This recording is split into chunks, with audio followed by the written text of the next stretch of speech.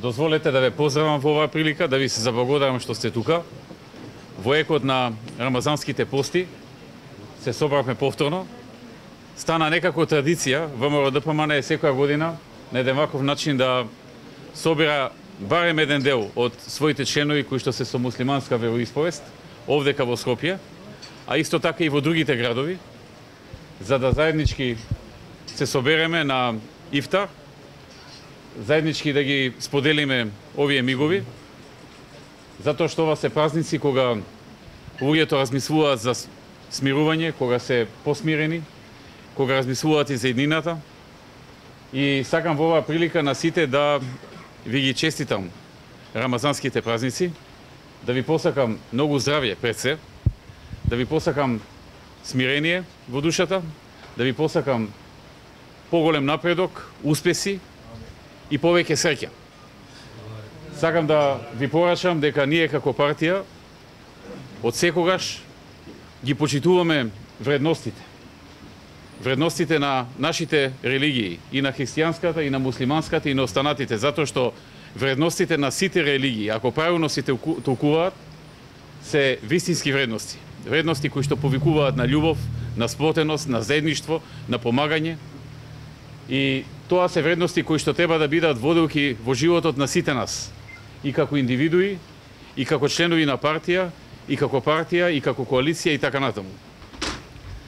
Преку овој собер ние само сакаме со уште еден дополнителен символичен гест да да покажеме дека ние сме партија што ги почитува сите. И ВМРО ДПМН е партија во која што сите се добредојдени и сите се почитувани. Иако во минатите години многумина се обидува да ни направат различна перцепција, да не осрнат. Дека сме против едни или против други. Дека не ги почитуваме едни или други. Дали гледано верски или гледано етнички. Не е точно. Ние сме партија која што ги почитува сите, ги сака сите, сака на сите да им помогне. И се бори подеднакво на секој граѓани на Македонија да му помогне. Независно на неговата верска припадност или на неговата етничка припадност.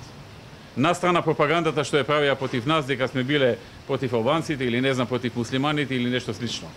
Тие што се во нашата партија, независно дали се албанци, или се турци, или се роми, или се бошанци, или се од било која друга националност, или се христијани или муслимани, добро знаат дека ВМРО ДПМН е партија што ги обединува сите, што ги почитува сите и што сака на сите да им помогне. И така и ќе остане и во иднина.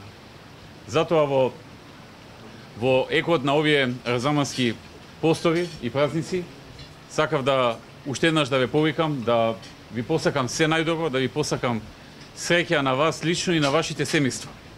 Да одиме напред и како партија, и како држава, и како етнички или верски заедници, припадници и така натаму. На крајот на краиштата во оваа држава сите делиме заедно и добро и лошо. Тоа што е неубаво, тоа што е лошо, сите го чувствуваме. И сите посакуваме да го подобриме и промениме. Тоа што е добро, за сите е добро. И така треба да биде. Ние сме мултиетничка држава, ние сме мултиконфесионална држава, така било и така ќе остане. Заеднички сме живееле, заеднички живееме и заеднички ќе живееме. Одредени несогласувања што повремено се јавувале или се јавуваат, се решавале и ќе се решаваат само преку диалог и заедничко разбирање. ВМРО ДПМН е предначево и ќе предначи во тоа. Да се живи и здрави, имајте пријатни рамазански постови и празници и да одиме напред сите заедно. Ви благодарам.